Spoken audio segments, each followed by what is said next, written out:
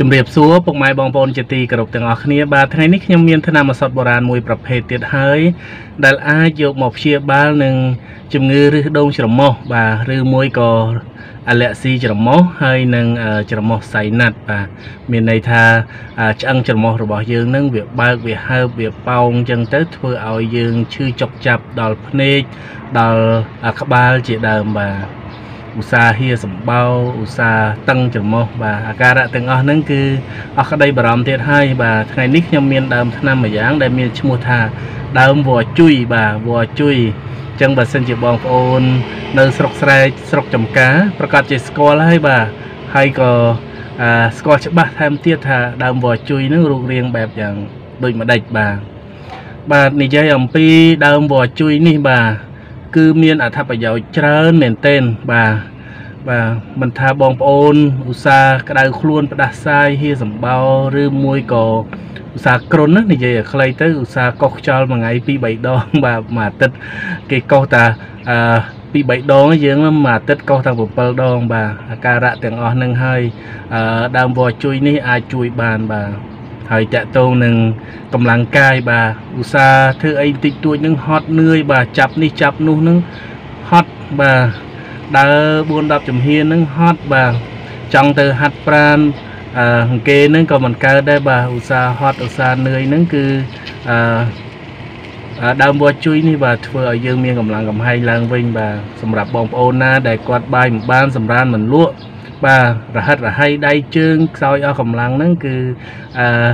ទុកចិត្តលើវល្លិជួយចាស់បាទវល្លិជួយអាចជួយបានហើយជាពិសេសបងប្អូនដែល មានបញ្ហារឿងអសមត្ថភាពផ្លូវភេទបាទខ្សោយអូនតូចនឹងមិនសូវស្ទុះស្ទាបាទ អឺមួយថ្ងៃមួយថ្ងៃហ្នឹងគឺឆ្ងោកមុខរហូតអត់ដែលយ៉ាងអល់មុខគេទេបាទអាការៈហ្នឹងគឺរឹសវល្លិជួយបាទអាចជួយបានបាទហើយតកតងនឹងបញ្ហាសក់ស្កូវសក់រុះរយហ្នឹងគឺដើមវល្លិជួយនេះបងប្អូនណាធានាថាធ្វើឲ្យសក់របស់បងប្អូនហ្នឹងគឺខ្មៅរលោងរលើបរលោងឡើងវិញបាទគ្រាន់តែបងប្អូនយកទៅស្ងោរហូបហ្នឹងបាទដាំទឹកហូបហ្នឹងណាបាទ បាទប៉ុន្តែថ្ងៃនេះខ្ញុំសូមលើកយកតែអត្ថប្រយោជន៍មួយពីរតែប៉ុណ្ណោះដើម្បីយកមកជម្រាបដល់បងប្អូនដែលមានបញ្ហាឬដងច្រមុះបាទហើយនឹងអសមត្ថភាពផ្លូវភេទបាទបាទអញ្ចឹងកុំឲ្យខាតពេលវេលាយូរសូមអញ្ជើញទៅទស្សនាដើមវល្លិជួយបាទជាមួយនឹងខ្ញុំដូចតទៅបាទបងប្អូនទាំងអស់គ្នានេះហើយគឺជាដើមវល្លិជួយបាទដើមវល្លិជួយមានលក្ខណៈបាទជាវល្លិបាទ ដើមរបស់វាគឺមានស្លឹកពីរទទឹមគ្នាបាទដុះរៀងទទឹមគ្នាអញ្ចឹងទៅ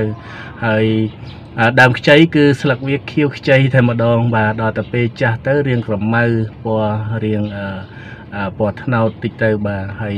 ផ្លែរបស់វាហ្នឹងគឺដូចផ្លែសណ្ដែកអញ្ចឹងពីរទទឹមគ្នាបាទប៉ុន្តែក្នុងរូបភាពនេះមិនទាន់មានផ្លែនៅឡើយទេបាទបាទអញ្ចឹងអឺ វ៉ជួយបាទបងប្អូនគ្រាន់តែជីកបាទបាទជីកយកមើមយកយករឹសរបស់វ៉ជួយហ្នឹងយកទៅដាំទឹកហូបណាបាទមុននឹងប្រាប់ដល់វិធីព្យាបាលរឹសដងច្រមុះហ្នឹងខ្ញុំសូមណែនាំអំពីជ័របាទជ័រស្លឹកអឺរបស់វល្លិជួយនឹងបាទអឺជ័ររបស់វល្លិជួយនេះបាទក៏មានអត្ថប្រយោជន៍ផងដែរបងប្អូនណាដែលគាត់ឧស្សាហ៍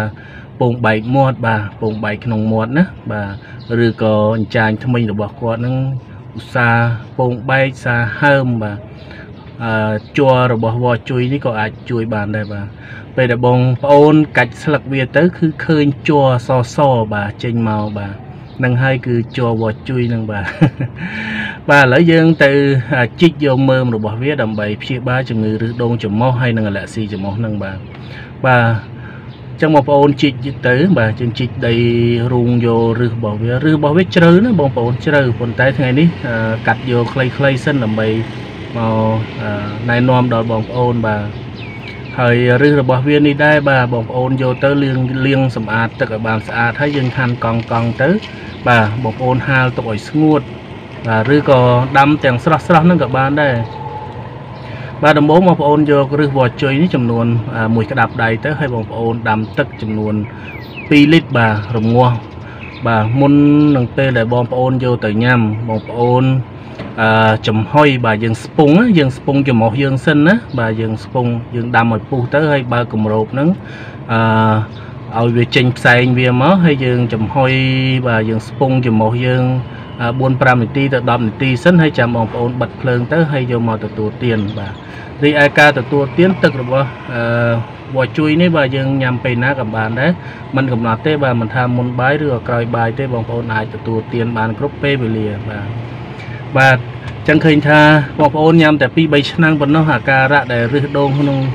ច្រមុះពិបាកដកដង្ហើមឧស្សាហ៍ថប់ដង្ហើមបាទមានហៀសម្បោមានអីជាដើមហ្នឹង បងប្អូនខ្លះក៏លាក់ស៊ីច្រមុះបាទអឺឲ្យតែរសើបច្រមុះបន្តិចតួចហ្នឹងគឺกระដាស់បាទ4 10 20 30ដងហ្នឹងមិនបាត់ទេហើយបងប្អូនដែលគាត់មានបញ្ហាឆ្អឹងច្រមុះរបស់គាត់នឹងបើកបាទធ្វើឲ្យគាត់ឈឺដល់ក្របភ្នែកបាទឈឺដល់ក្បាលបាទហើយអាការៈហ្នឹងគឺនឹងបាត់ដូចគ្នាណាបាទចឹងឃើញថា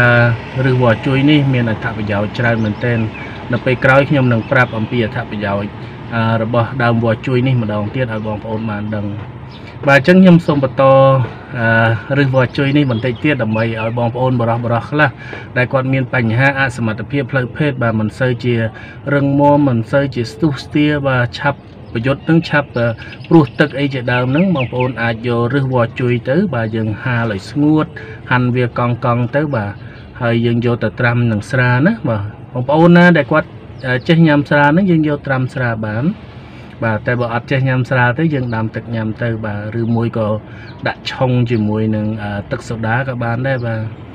ហើយបើសិនជាបងប្អូនណាគាត់មានដើមបាសឬផ្ទីបាទហើយនឹង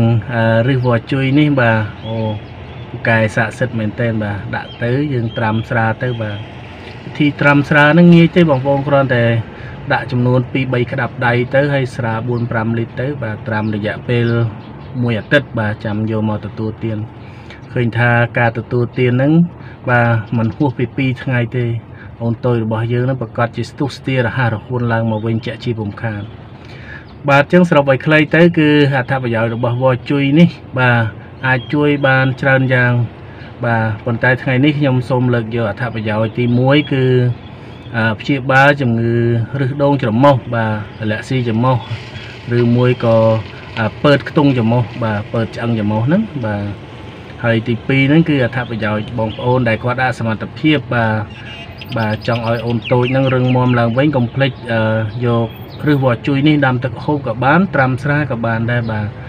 បាទការទទួលទានហ្នឹងมันកំណត់ទេចង់ដាក់កន្លះកែវក៏បានមួយកែវក៏បានมันកំណត់ទេបាទអាចញ៉ាំបានគ្រប់ពេលវេលាណាបាទ បាទចឹងអរគុណច្រើនពុកម៉ែបងប្អូនដែលបានចូលទស្សនាវីដេអូរបស់ខ្ញុំតាក់ទងនឹងដើមវល្លិជួយបាទដើម្បីយកព្យាបាលជំងឺឬដងច្រមុះហើយនឹងជំនួយកម្លាំងបាទឬមួយបងប្អូនណាដែលគាត់រហិតរហៃដៃជើងខ្សោយមិនសូវជាមានកម្លាំងយើងអាចយកដើម ស្លឹករបស់វល្លិជួយនេះដាំទឹកហូបទៅប្រកាសជាមានកម្លាំងកំហែងឡើងវិញហើយណាបាទចឹងសូមជូនពរពុកម៉ែបងប្អូនឲ្យមានសុខភាពល្អកុំឲ្យមានជំងឺអ្វីៗមកបៀតបៀនឲ្យសោះហើយសូមកុំភ្លេចជួយចុច like ចុច share ចុច subscribe ដល់វីដេអូរបស់ខ្ញុំផងដើម្បីជាកម្លាំងចិត្តធ្វើវីដេអូថ្មីៗចែកជូនពុកម៉ែបងប្អូនទស្សនានៅថ្ងៃក្រោយទៀតនៅពេលនេះខ្ញុំសូមអរគុណសូមជម្រាបលា បាទសួស្តីបងប្អូនបរោះបរោះដែលកំពុងមានបញ្ហារឿងអូនតូចបាទខ្លីតូចបាទថ្ងៃនេះអស់បារម្ភហើយបាទខ្ញុំបាទមានផលិតផលមួយមានឈ្មោះថាប្រេងលាបខ្លាញ់ថ្លែនបាទដែលអាចជួយឲ្យបងប្អូន បាទរីកទាំងទំហំលូតទាំងប្រវែងបាទត្រឹមតែរយៈពេល3ថ្ងៃទៅ5ថ្ងៃតែប៉ុណ្ណោះធ្វើឲ្យអូនតូចរបស់យើងនឹងប្រែបាទផ្លាស់ពីតូចទៅធំបានដូចបំណងណាបាទអញ្ចឹងបើសិនជាបងប្អូនចាប់អារម្មណ៍បាទអាចទំនាក់ទំនងតាមលេខទូរស័ព្ទរបស់ខ្ញុំបាទបាទដែលមាន2ខ្សែ096 56 5គុត264មួយខ្សែទៀត071 31 91 374បាទបាទសូមអរគុណសូមជម្រាបលា